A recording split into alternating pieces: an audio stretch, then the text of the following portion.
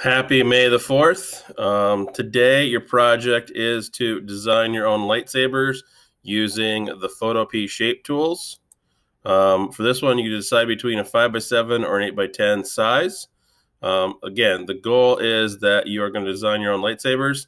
The best way to approach this is to start with the blade or blades first. You can make one that has multiple blades if you like. Um, then after that, again, make the hilt.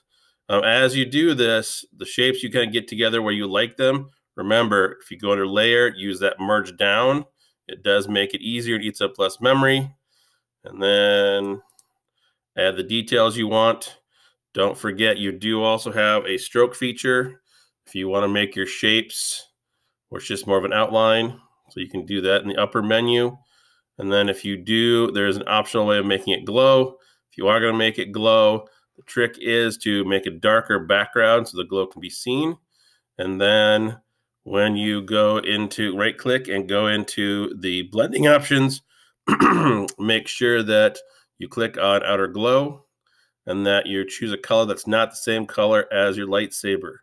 That way it actually kind of gives it like a second little kind of feel around this one. Like this one has a lighter blue attached to the green so that then the green pops.